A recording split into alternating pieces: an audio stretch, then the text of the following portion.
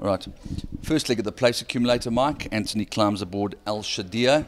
Um, looks like there's lots of improvement to come. Yeah, disappointing last time, but uh, she wasn't wasn't striding out. Not the soundest individual. Um, we gave her a bit of a break, freshened her up. Uh, but working well for Saturday. Um, how good she is, I don't know. I think she's going to win one or two, but uh, you know, if there's anything really hot in there, she'd you know she'd, she'd have difficulty. But um, she's capable of winning a maiden, definitely. So stick your neck out, place accumulator banker. Mm, if I were punters, I'd, I'd put one or two with her. Okay, first class. On to the first leg of the pick six. We've got uh, Wild Dancer. Consistent sort. Um, she normally runs in the first four. Probably been going a little far at nine furlongs with a better over a mile. Uh, she's a four-year-old. She's very fit. Um, she must have a good each-way chance.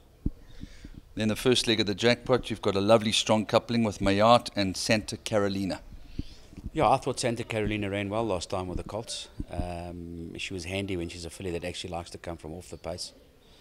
Um, but having said that, at level weights with uh, Athena, you know, horses like that, she's going to struggle. Well, it's going to be it's going to be difficult. Um, I think she'll probably be better over a mile. I know she's just won over 1400. Uh, but a filly that's in, in pretty good form, quite fit at the moment. Very strong race for a pinnacle with a fillies guineas winner and a Group One winner in it. Yeah, well, it, it, it's in the right place. You know, you got the, you got the build up to the Ipi Tombe uh, stakes in three weeks' time, so it's in the right place. It's uh, you know it's well well placed. First class. Then on to the sixth, we've got uh, Dream Upon a Dream, which would appear to be stable elect with Anthony Board King, Mambo's Legacy, and then of course uh, Kosovo with Lava Flow to go back up. Yeah, he's uh, he's probably got more speed than the other three. Uh, he won very well in blinkers last time, settled in off the pace and accelerated very very well.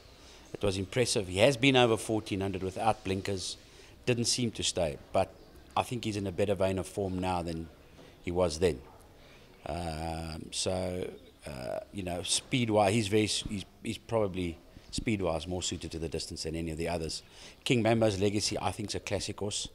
Um, but one of those that you know is going to be fighting on it on at the end, as will Lava Flow, I think. Uh, Kosovo won very well first time out, um, drawn badly, but quite a quite a nice little filly with a scopy pedigree as well. So she's one that should also be doing her best work at the end.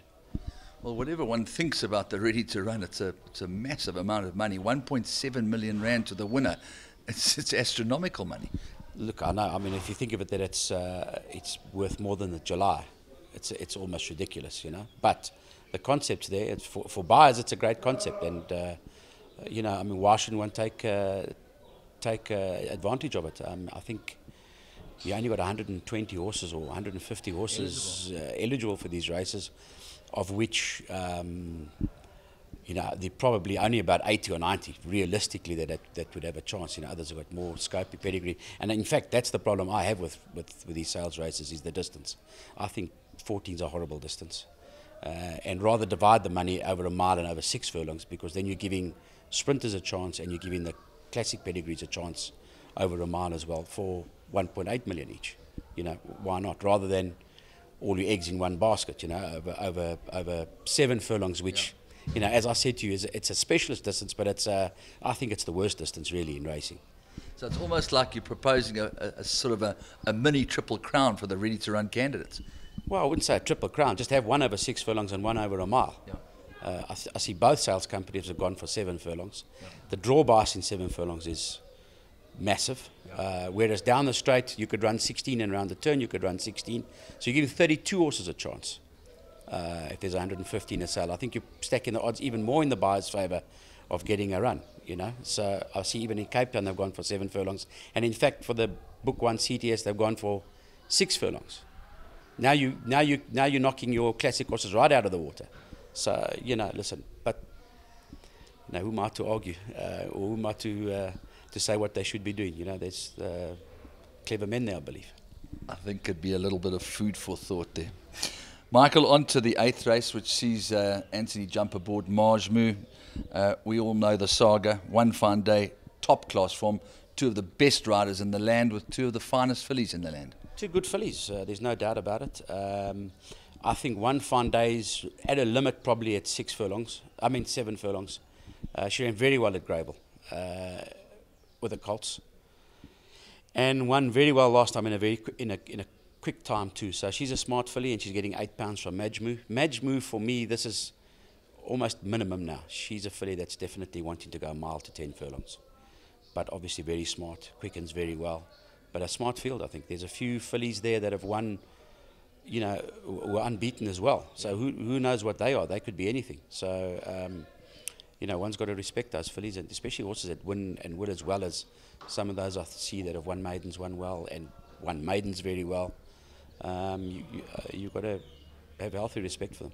Well, it looks like the uh, Aventure Fillies Guineas is shaping up to be some sort of, sort of a race because there's lots of people talking about the fillies in Cape Town.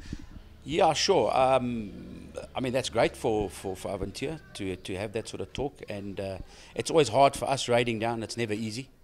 Um, but we've done it with, with success, and it's a fantastic race day. So, you know, the more competitive fillies there are, the greater it is for a spectacle it is for, for racing, really.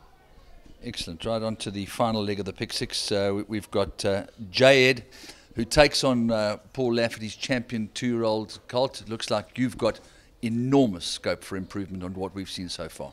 He has Andrew, and he'll be better suited to Turffontein. He wasn't suited to Gravel at all. If you look where he came from in that last run, uh, he wants a lot further. He really wants to go nine and ten furlongs, a mile plus. Uh, he's not a quick starter in races. He's he jumps out at home, okay, but uh, so that's you know a factor. Um, and you know possibly maybe just lacks a bit of experience still.